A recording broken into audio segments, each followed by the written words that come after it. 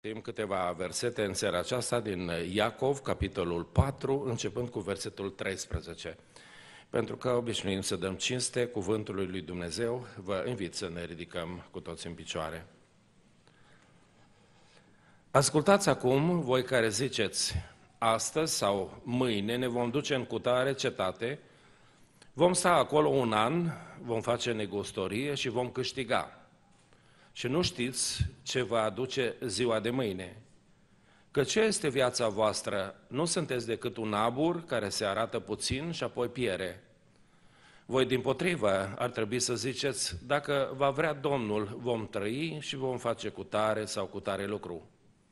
Pe când acum vă făliți cu lăudărășunile voastre, orice laudă de felul acesta este rea. Deci cine știe să facă bine și nu face, să vârșește un păcat. Amin. Să ocupăm locurile. Cineva a avut uh, curiozitatea să măsoare viața noastră umană un pic mai diferit. Ascultați. 21 de ani din viața noastră dormim. 21 de ani. Unii dorm mai mult, că sunt mai harnici. Uh, 14 ani muncim, 7 ani îi petrecem în baie. Știți asta? 7 ani din viața noastră petrecem în baie de aia, băile trebuie să arate bine.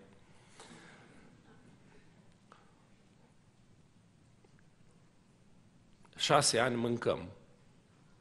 Șase ani din viața noastră stăm la masă și mâncăm. Cinci ani așteptăm așteptăm să vină cineva, ceva, să se dea ceva, să se întâmple ceva. Așteptăm cinci ani din viața noastră. Trei ani îi petrecem în ședințe. Urme... Urmează să avem o ședință cât de curând. Mai adăugăm ceva la anii ăștia. Doi ani de zile din viață răspundem la telefoane. Știți asta? Răspundem la telefoanele pe care ne le dau alții. Un an din viață căutăm lucruri pe care le-am pierdut. Un an din viață căutăm. Nu găsim cheile, nu găsim credit cardul, nu găsim cine știe ce nu găsim, mai ales bani nu găsim, nu e așa? Știți povestea cu creangă, că au venit niște hoți într-o noapte și îi spun, dar ce căutați? Ce bani? și dacă găsiți, spuneți-mi și mie, că eu de o viață cauz nu găsesc. Așa. Opt luni ne uităm prin junk mail, prin hârtiile alea care vin la poștă, umblăm prin ele. Opt luni din viață ne mănâncă ăștia cu hârtiile alea. Șase luni stăm la stop la lumina roșie a semaforului. Nenorociți de ei. Ia.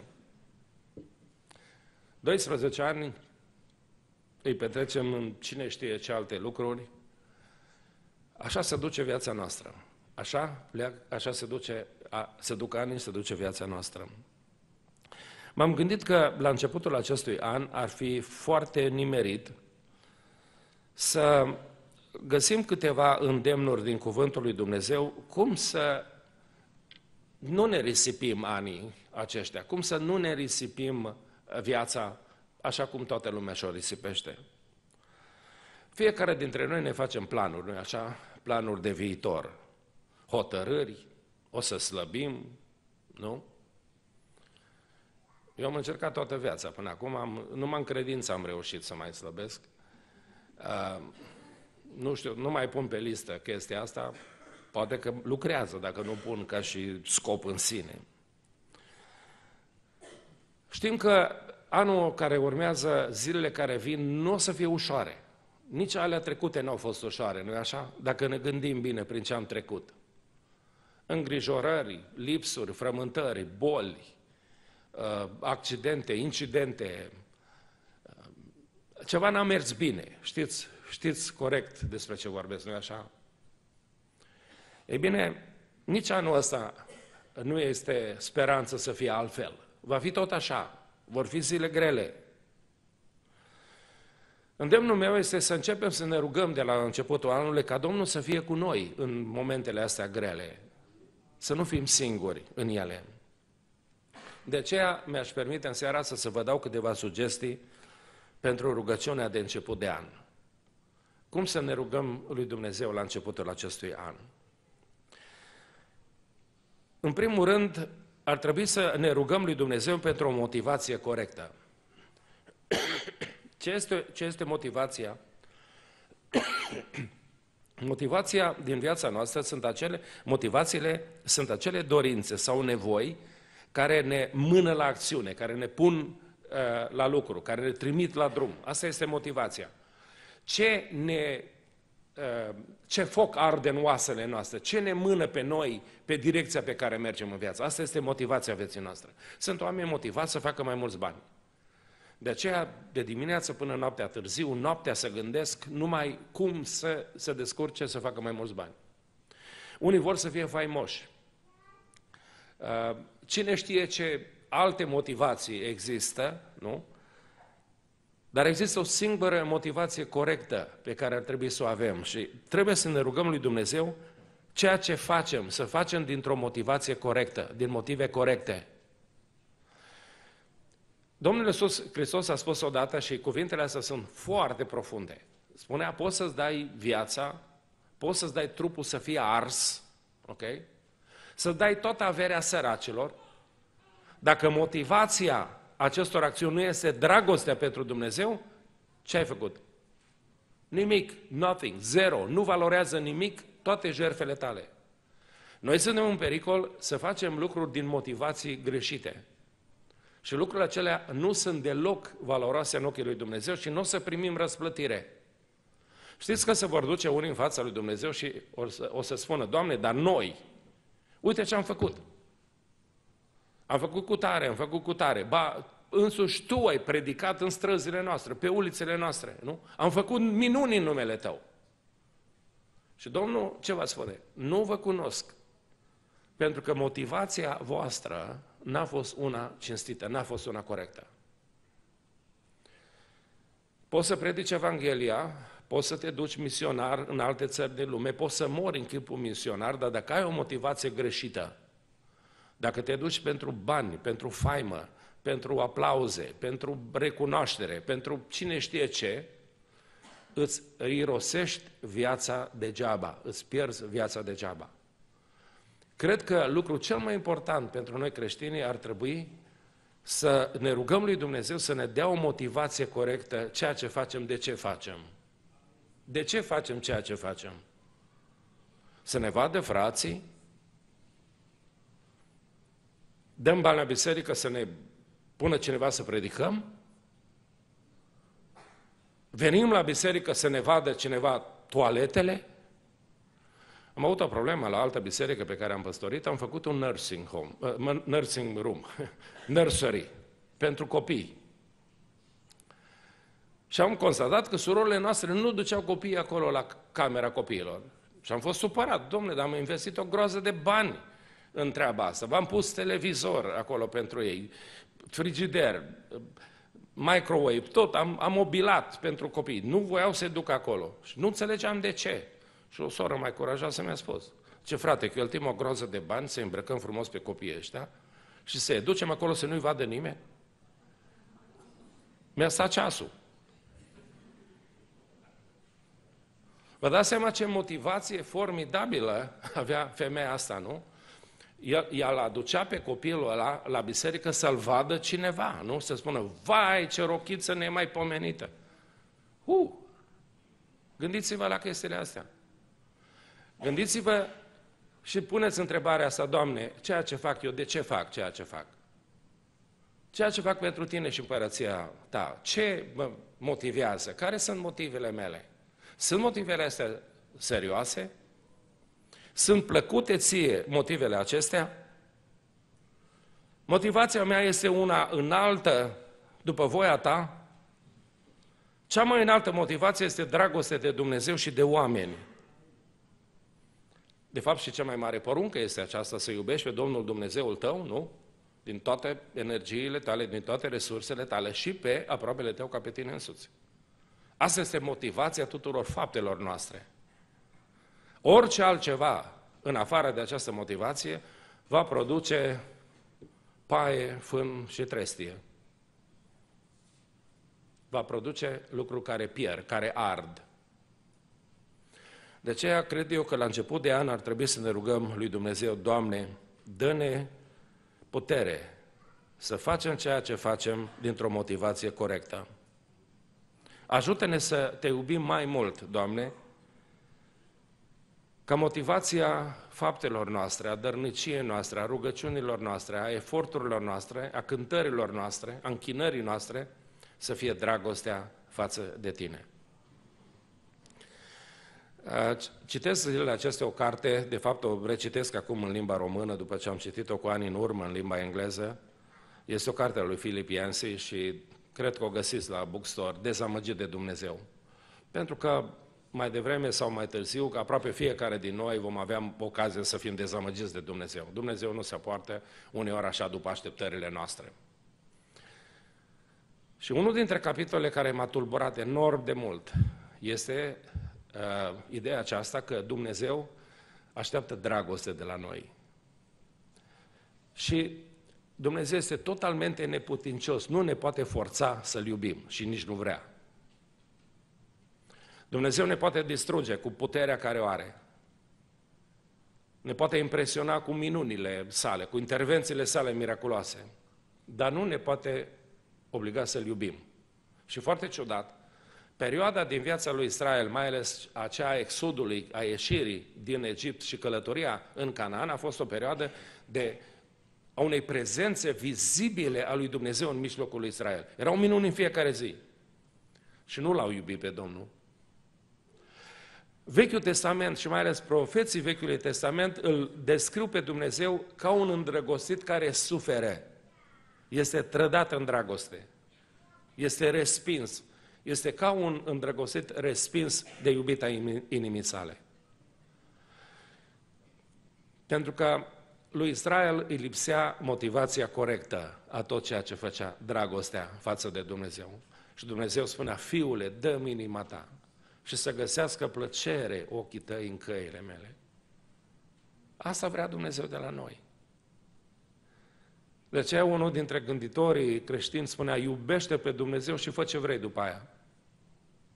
E șocant. Pentru că în momentul în care iubești pe Dumnezeu, nu mai faci ce vrei tu, ci ce vrea El.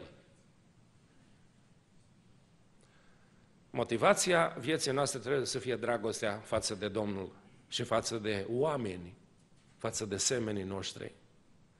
Dacă ceea ce facem noi nu are la bază o asemenea motivație, la începutul acestui an, vă rog, insistați înaintea Domnului să vă dea putere să schimbați motivațiile egoiste, motivațiile de toate soiurile care le avem, nu?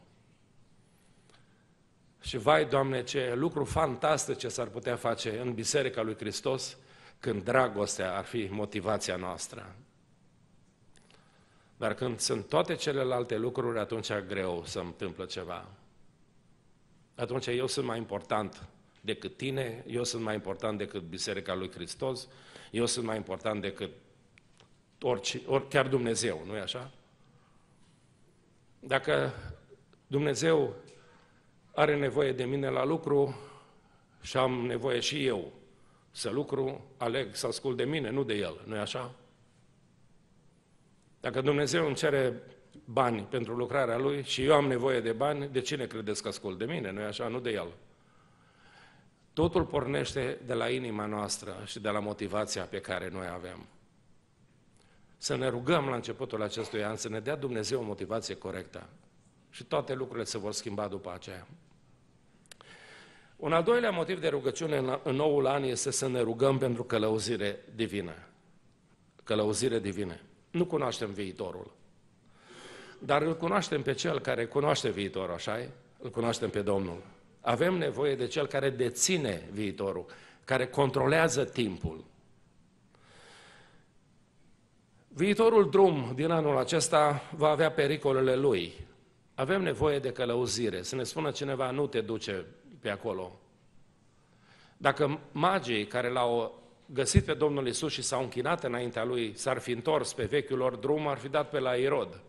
Cine știe, i-ar fi arestat, i-ar fi ținut cine știe pe unde, nu? Sau poate îi putea omorâ. Dar Domnul le-a spus, nu mai treceți pe acolo și le-a, le arătat un alt drum. Avem nevoie de Domnul să ne călăuzească, să ne arate drumul Lui, nu drumul nostru. Uitați-vă în istoria noastră a fiecăruia, câte gafe am făcut, nu? Regretele vieții noastre sunt tot felul de decizii aiurea, decizii financiare, decizii de schimbări care le-am făcut și nu toate au fost bune. Știți de ce nu au fost bune? Că n-am cerut călăuzirea lui Dumnezeu. Nu l-am întrebat pe Domnul. Am venit numai să ne plângem la Domnul când n-au ieșit cum am vrut noi. așa e? Haideți în anul ăsta să ne rugăm ca Dumnezeu să ne călăuzească. Am vrea să străbatem anul ăsta nou, aduc în slavă lui Dumnezeu și umblând pe drumurile Lui, să umblăm în voia lui Dumnezeu, să cerem Domnului călăuzire, lumină de la El. El vorbește când într-un fel, când într-altul. Ne poate vorbi prin vise, prin cuvântul Lui, prin oameni, prin îngeri, dacă vrea Dumnezeu, nu? Ne poate vorbi Dumnezeu. Dumnezeu vorbește. Este un Dumnezeu care ascultă rugăciunile și vorbește copiilor săi. Și dă călăuzire. Nici orbul nu se rătăcește pe calea lui Dumnezeu. Nici ăla fără minte, spune Sfânta Scriptură. nu e așa? Dacă te lași călăuzit de Dumnezeu. Și motivația corectă a vieții tale este dragostea. Câți dintre dumneavoastră ați văzut Forrest Gump? Nu ridicați mâna că o să vă cheme la comitet. Oh, ma. Tema de casă să-l vedeți. Forrest Gump este un copil fără minte, blocat undeva în, în primii ani din viață. Nu îi merge mintea deloc, numai prostii face, numai gafe face. Dar Forrest Gump are o inimă mare, o inimă extraordinară, iubește. Iubește pe Dumnezeu și iubește oamenii. Toți se rătăcesc, mor președinți unul după altul, se întâmplă schimbări mari în istorie, tragedii. Forrest Gump trăiește și fuge și aleargă și... Fantastic! Mesajul este extraordinar. O motivație corectă, o inimă plină de dragoste și o călăuzire divină este tot ce avem. A plecut versetul pe care copilul acesta minunat, care știe să recite în ambele limbi, îl spunea din acest psalm, nu? Să te lași călăuzit de Domnul în toate căile tale. El știe, El știe mai bine decât noi.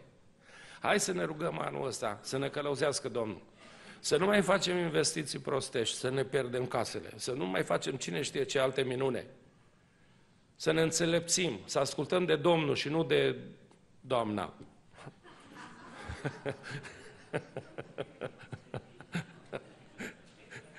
Sau de cine știe ce alți domni, nu?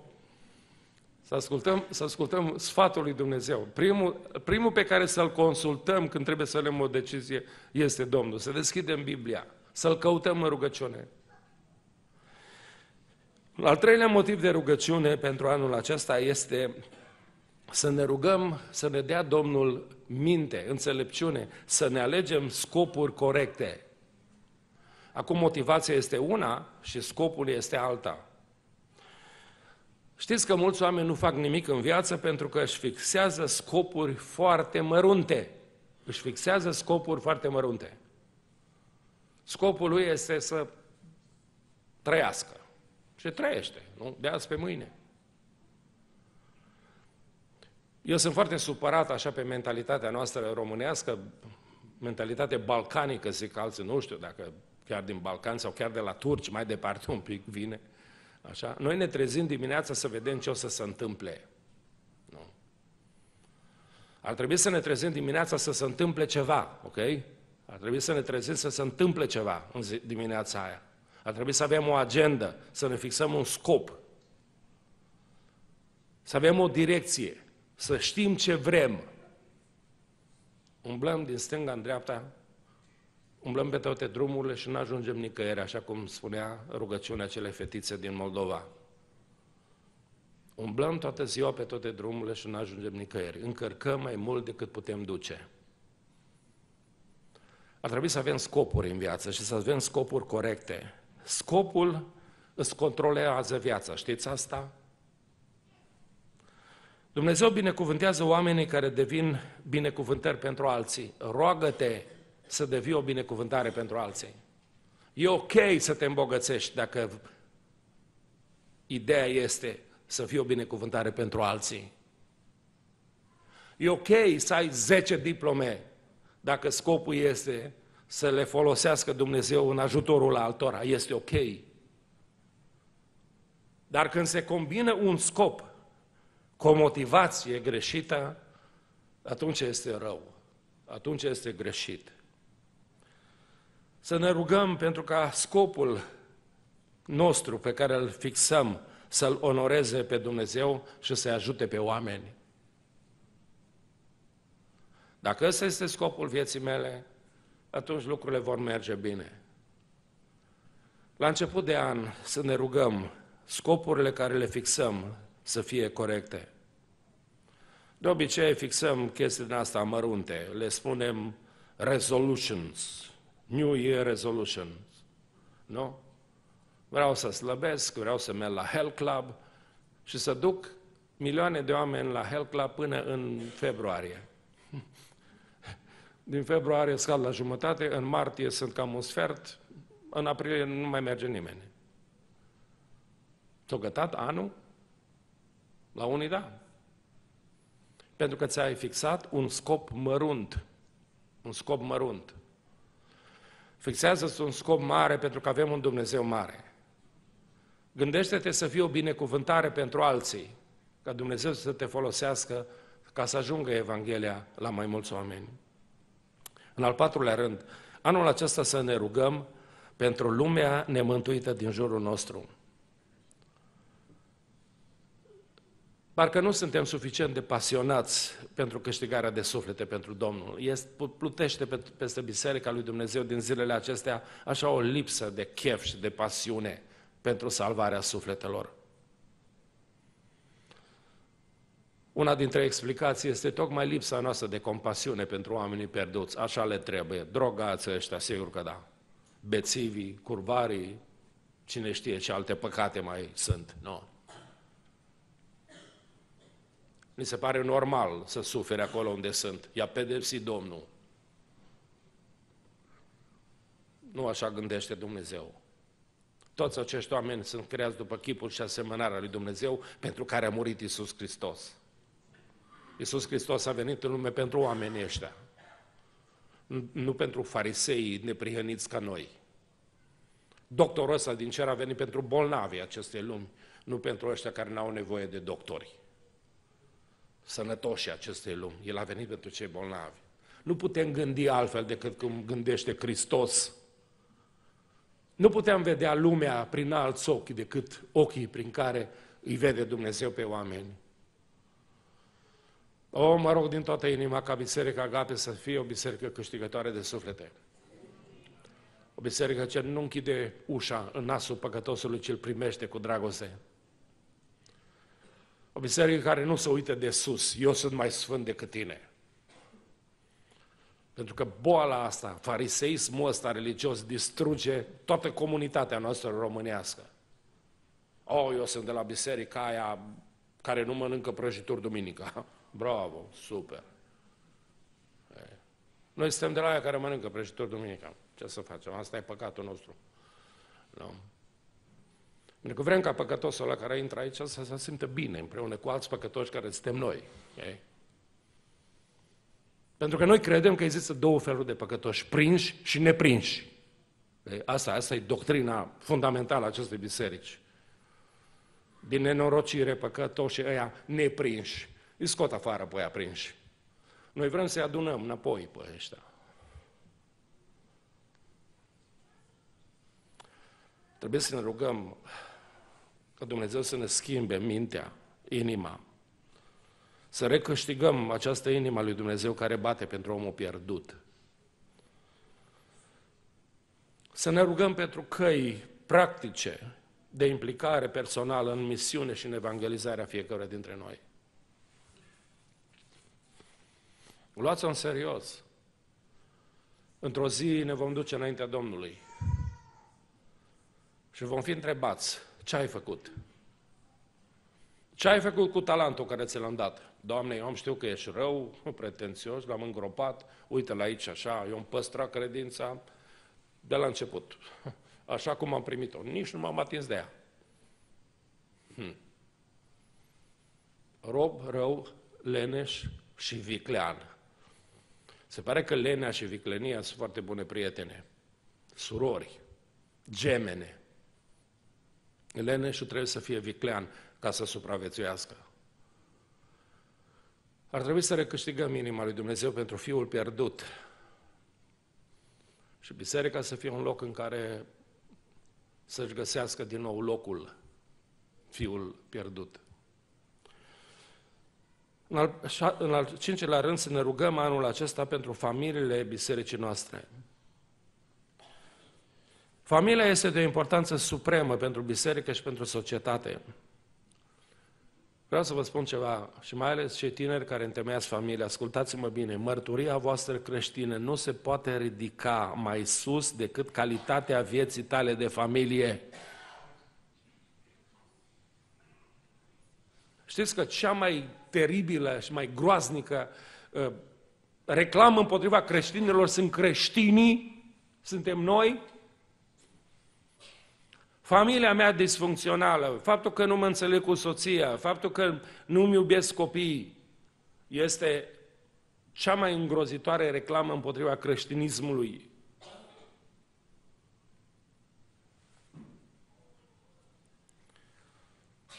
Încă o dată, mărturia ta creștină se va ridica până la nivelul calității vieții tale de familie. Atât.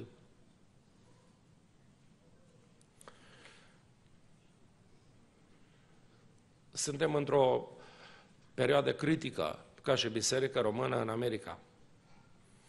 Din păcate, cei mai mulți păstori nu vor să recunoască criza în care ne aflăm. Ne aflăm într-o criză majoră pentru că suntem în pericol să ne pierdem noua generație. Nu datorită limbii. Ascultați-mă bine, nu datorită limbii. Uitați-vă, are 10, 11 ani, câți are? 9 ani. Ok? La 9 ani știam în două limbile. Și vă asigur că și copiii noștri știu foarte bine tot ce vorbiți în casă. Mai ales când nu vorbiți ceea ce trebuie. Țin minte că odată în mașină, nu știu ce am zis cu soția de mama unuia dintre nepoți, nu? L-am auzit din spate, zice, eu n-am auzit nimic, eu n-am auzit absolut nimic. Ăștia au tot, înțeleg tot. Nu limba e problema noastră. Mentalitatea noastră, atitudinea noastră. Asta e problema noastră numărul unu. Dar este așa de ușor să dăm vina pe altceva, nu? Limba, limba asta engleză. Școala americană. Nu, domnule. Noi, relațiile noastre de familie, sunt acelea care distrug familia de astăzi. Să ne rugăm lui Dumnezeu să nu pierdem noua generație. Să ne rugăm pentru sănătatea morală a căminelor noastre. Și ultima, ultimul îndemn este anul acesta să ne rugăm dedicându-ne din nou Domnului și lucrării Lui. Să facem o rugăciune de dedicare din nou Domnului și uh, lucrării la care El ne-a chemat. Viața noastră este făcută din decizii și fiecare dintre noi trăim cu rezultatele deciziilor noastre. Un nou an este un timp extraordinar de bun să luăm o decizie de a ne apropia de Domnul. De a-L iubi mai mult pe Domnul. De a ne ruga mai mult. De a-L căuta mai des. De a petrece mai mult în compania copiilor Lui. De a citi mai mult despre El. Nu știu ce aș mai putea spune, dar sunt foarte multe căi în care am putea să ne apropiem de Domnul. Mai prezenți în biserică, în lucrarea din biserică, mai dedicați, mai sensibili la nevoile eh, comunității în care noi ne aflăm. mai gata de sacrificiu. O nouă dedicare de a iubi pe Domnul mai mult. Am hotărât anul acesta, așa de unul singur, să, să încep din nou să mă îndrăgostesc de Domnul, așa cum parcă eram altă dată mai îndrăgostit de El. Pentru că mi-am dat seama, tot secretul vieții de creștin vine de aici. Vine de aici. Poți să citești și să te, eu știu, burdușești cu teologie până acolo încât să ai un cap de înalt așa mare teologic, suma teologie, nu? Toma d'Aquino. Dacă nu ai o inimă pentru Domnul, nu-ți folosește la nimic. Pot să vorbesc în limbi îngerești și omenești și sunt ca un zurgălău, chimval zângănitor. Fără dragoste, nimic nu este valoros. Nimic nu este valoros. Domnul nu-mi cere performanțe, nu-mi cere cine știe ce realizări, îmi cere dragoste. Să-L iubesc pe Domnul. Asta îmi cere Dumnezeu. Trebuie să facem ceva să ne îndrăgostim de El. Cineva spunea că studiază mai mult pe Domnul Isus, să-L cunoască mai bine ca să-L iubească mai mult. Cineva mi-a zis într-o zi o vorbă care cred că îmi va rămâne pentru restul vieții mele, pentru că m-a, m-a șocat prea, prea tare. Mi-a, s-a întors spre mine într-un eveniment din ăsta mare, pocăiesc, și mi-a spus-o foarte șleau, I don't like you, but I love you, brother. What? Deci, știți de ce am fost șocat? Pentru că omul ăla, sunt sigur că i-ar fi plăcut de mine dacă m-ar fi cunoscut, dar nu mă cunoaște deloc. Nu și-a făcut timp niciodată să stea de vorbă cu mine. Că dacă și-ar fi făcut timp să stea de vorbă cu mine, să mă asculte, să discutăm, poate că i-ar fi plăcut de mine. Dar mi-a spus foarte clar, I don't like you, but I love you. Nu știu cum lucrează asta, probabil la unii lucrează. Poate că poți să iubești ceva care nu-ți place. Poate că el face asta de, cu toată lumea, I don't know. Aș fi foarte îngrijorat să fiu nevastă sa. wow, nu? E, e groază, nu e așa? Te spun într-o zi bărbatul, I don't like you, but I love you. wow. Dacă noi le-am cunoaște pe Iisus Hristos mai mult, l-am iubit mai mult, l-am iubit mai mult. Eu am, am avut o perioadă în care am hotărât să cumpăr toate cărțile care erau disponibile în vremea aceea care vorbeau despre Domnul Isus. Și mi-a făcut, cred că am vreo două rafturi de, de cărți de asta și am, le-am citit pe multe din ele, de acum am luat hotărârea să iau din nou. Zilele trecute am comandat Killing Jesus al lui Bill O'Reilly și acum îl citesc. Pentru că mi-am dat seama că pe măsură ce știu mai mult despre Domnul, iubesc mai mult pe Domnul. Citiți mai mult despre El.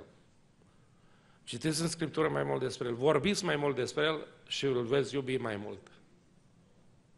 Și asta este, de fapt, scopul întregii noastre vieți creștine. În concluzie, am o întrebare. Va fi ăsta un an nou sau tot unul vechi? Va fi 2014 un an nou sau va fi tot un an vechi? Cum au fost toate alelalte? Ne vom ridica sau vom avea din nou platoul acela în care nimic nu s-a schimbat? Știți cântarea? Te ridici sau te cobori? Te întreb de două ori, nu, ca să rimeze. Ce facem anul ăsta? Ne ridicăm sau rămânem tot așa cum am fost? Va fi un an nou sau tot la vechi? Tot una vechi, nu? Cum ești, frate? Tot așa. Nu? O păi ține tot așa, că tot așa o să rămâi. Nu? Ar trebui să urcăm, ar trebui să devenim mai buni, mai aproape de Domnul, să-L iubim mai mult, să fim mai implicați în lucrarea Lui Dumnezeu. Anul ăsta ne vom ridica sau vom bate pasul pe loc din nou ca și anul trecut? Știți că schimbarea începe cu inima noastră? Am citit istoria cuiva, este unul dintre oamenii faimoși a Americii, s-a supărat cu soția, um, a înșelat-o, soția a fost o femeie de treabă, l-a iertat, uh, apoi m-a înșelat-o din nou, iară l-a iertat, iară l-a reabilitat și tot așa, tot așa. Și au trecut vreo 10 ani din viața lor și în sfârșit femeia asta s-a deschis mintea și a înțeles că, de fapt, omul ăsta nu o iubește. Indiferent, uh, la un moment dat se lasă de prostii, vine acasă, cu minte, pentru o perioadă de vreme. Dar el, el nu are inimă pentru ea, nu, nu iubește deloc. Nu vi se pare că și relațiile noastre cu Dumnezeu sunt tot cam așa? Îl înșelăm, o luăm razna un an, doi, ne apucăm cine știe de ce trăznăi, se răcește toată dragostea noastră pentru Domnul, venim înapoi și iară ne pocăim odată și iară ne ducem înapoi și tot așa și ne primește și plecăm. Și iară ne primește și iară plecăm. Pentru că ceva este wrong cu inima noastră. Cu inima noastră. Iubim altceva. Omul Omul care nu are inima într-o totul dată Domnului, să mă întoarce înapoi la ceea ce iubește inima lui. Unde este inima ta, unde este comoara ta, acolo este și inima ta. Este simplu. Mă rog ca anul acesta Dumnezeu să ne dea înțelepciune și sugestiile mele pentru început de an este să ne rugăm lui Dumnezeu pentru o motivație corectă a tot ceea ce facem dragostea pentru Dumnezeu și pentru semenii noștri să stea la baza tuturor acțiunilor noastre. Să ne rugăm pentru călăuzire divină, Dumnezeu să ne dea lumina Lui când luăm decizii în viață. Să ne rugăm să ne fixăm scopuri corecte, care să fie pentru ajutorul altora, să devenim o binecuvântare pentru alții. Să ne rugăm pentru mântuirea celora din jurul nostru și să devenim instrumentele lui Dumnezeu pentru întoarcerea lor la, la Domnul. Să ne rugăm pentru familiile bisericii noastre și să ne rugăm dedicându-ne din nou Domnului și lucrării Lui. Și rugăciunea aceasta am putea o face chiar acum. Și v-aș îndemna să ne ridicăm cu toți în picioare și fiecare într-un mod personal să ne rugăm Domnului și să ne rededicăm Lui. Și să-i spunem, Doamne, am vrea să-ți aparțin ție 100%. Aș vrea inima mea să fie într totul a Ta, Doamne. Aș vrea să Te iubesc cu toată puterea mea, cu tot sufletul meu, cu tot cugetul meu. Aș vrea să Te iubesc, Doamne Iisuse, mai mult. Anul acesta să Te caut mai des, să vorbesc cu Tine mai mult să mi se lipească inima de Tine, Doamne. Haideți să ne rugăm așa cum stăm cu toți în picioare. Doamne, la începutul acestui an am vrea să Te iubim mai mult